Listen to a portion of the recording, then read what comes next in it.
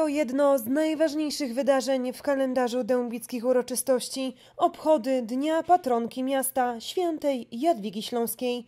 13 lat temu nasze miasto jako pierwsze w diecezji tarnowskiej decyzją Ojca Świętego otrzymało patrona. Dziś nikt nie ma wątpliwości, że została nim postać niezwykła, której historię należy poznać i z której warto brać przykład. Najważniejsze święto dla miasta Dębicy. Cieszymy się, że mamy taką patronkę. Święta Jadwiga Śląska, patronka rodziny i pojednania polsko-niemieckiego. Wiele może zmienić kobieta mocna Bogiem.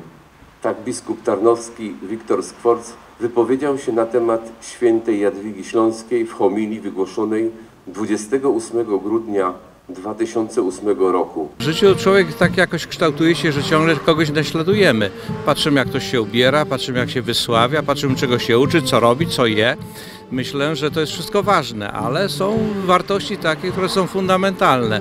E, Na przykład wartości moralne, wartości spojrzenia na, na życie, na rodzinę, na społeczeństwo, na pomoc tym, którzy sobie nie radzą.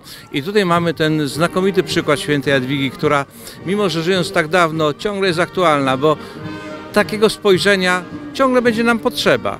I skoro ona potrafiła to czynić w czasach o wiele trudniejszych, to było średniowiecze, to, że miała pieniądze, miała, ale inny styl życia był, to jednak dzisiaj my musimy iść jej śladami musimy to samo czynić, żebyśmy po prostu byli szczęśliwsi, żeby wszyscy, żebyśmy się wszyscy do siebie uśmiechali i mówili, jak fajnie jest na tej ziemi dębickiej. Postać wyjątkowa, historyczna, osoba pochodzenia rzeczywiście mm, no, niemieckiego, która później ukochała Polskę i, i tą Polską się opiekowała, troszczyła. Mam na myśli oczywiście mieszkańców, tych wszystkich, którymi ona opieką e, objęła i e, wyszła z założenia, że trzeba jednak e, nowocześnie podchodzić do tematu bycia księżną, czy, czy, czy królową, czy żoną księcia, no to księżną, e, bo e, nie tylko e, korzystać z tego, co było dane, ale też dzielić się, co było w tamtych czasach 800 lat temu kompletnie niespotykane, a mam wrażenie, że i dzisiaj nie do końca jest spotykane, żeby w jakiś sposób oczywiście nie rozdawać to, co się ma, bo każdy pracuje ciężko i, i nie o to chodzi, ale chodzi o to, żeby chociaż część tej,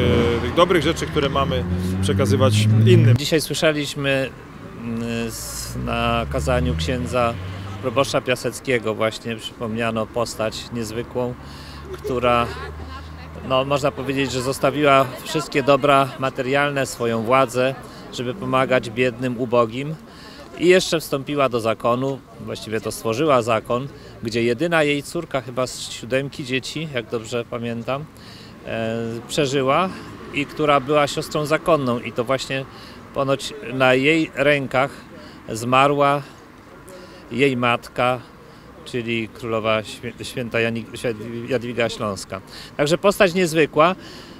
Obchody rozpoczęła uroczysta msza święta w kościele parafialnym pod wezwaniem świętej Jadwigi. Po nabożeństwie złożono kwiaty pod pomnikiem Jana Pawła II. Następnie barwny korowód, w którym udział wzięły władze miasta, zaproszeni goście, uczniowie oraz mieszkańcy, udał się pod figurkę świętej Jadwigi, która znajduje się przy ratuszu. Pochód poprowadziła Miejska Orkiestra Dęta.